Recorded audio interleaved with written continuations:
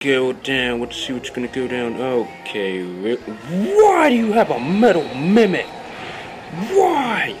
Why would, oh my god. I'm facing some really stupid people today, honestly. A metal mimic, really? Really? Honestly, the, the rest is alright, but I mean, come on. And you couldn't even kill Vargas. How, how stupider can you get, man? Come on. Come on. Honestly.